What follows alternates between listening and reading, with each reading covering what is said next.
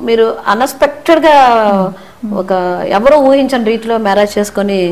వచ్చేసారు బెంగళూరు నా అప్పుడు ఎవరు fans- షాక్ అవ్వలేదా? అయ్యో మా ఫ్యాన్స్ అంతా చాలా షాక్ కొట్టేసింది ఎంత ఫ్యాన్ మెయిల్ వచ్చిందంటే నాకే కలమ నీళ్ళు వచ్చాయి. అయ్యో ఇంతమంది fans ఉన్నారా మనకి?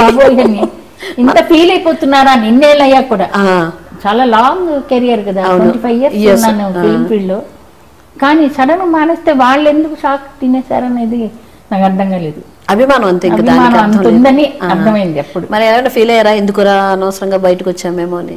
ఫీల్ అవ్వలేదు. ఎందుకంటే ఒక స్టేజ్లో ఎలాగా రిటైర్ అవ్వాలి?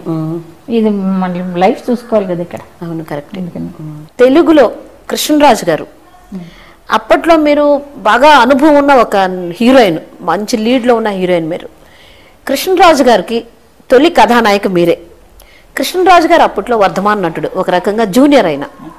అసలు ఆయనతో మీరు ఎలాగా హీరోయిన్గా వేయడానికి ఎలా ఒప్పుకున్నారు అసలు? అంటే నేను ప్రత్యేగాత్మ గారి డైరెక్షన్లో మూడు మంచి పిక్చర్లు యాక్ట్ చేస్తున్నాను అప్పటికే.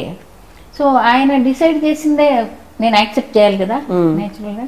ఓకే ఆయనకి జడ్జిమెంట్ ఉంది. కృష్ణరాజు గారు ఆ క్యారెక్టర్ పనికి వస్తారని దాంతో నేను ఒప్పుకున్నాను. చిలకా గోరింక. చిల్కా గోరింక పిక్చర్ అయితే కృష్ణరాజు గారితో మీరు చేసినప్పుడు మీరు ఎలా ఫీల్ అయ్యారు? ఏం లేదు.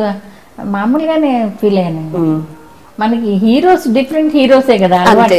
అయితే ఆయన ఏదన్నా మీ దగ్గర భయపడ్డారా? భయపడలేదు కానీ ఫ్రీగా ఆవిడేమన్నారు మీరు ఫ్రీగా ముట్టుకొని చేయండి లవ్ సీన్లో. రొమాన్స్లో రొమాన్స్లో. అని డైరెక్ట్ చెప్పడం నేను విన్నా. అంటే మీరు పాముల దగ్గర వాటి దగ్గర మీరు యాక్ట్ చేసినప్పుడు మీరు ఎలా భయపడతారు? అలాగే కృష్ణరాజు గారు మీ దగ్గర రావడానికి భయపడి ఉంటారు. మరి తర్వాత బాగా ఫ్రీగా యాక్ట్ చేసేవారు ఆయన? ఫ్రీగానే యాక్ట్ చేశారు. యాక్ట్ పిక్చర్లు బాగానే యాక్ట్ చేశారు. కానీ ఆ కాంబినేషన్ కూడా బాగా బాగుంది. ఆయన. కూడా టాలు బాగానే అవును. అది కూడా మంచిగా క్లిక్ అయింది. ఆ జంట అది కూడా మంచి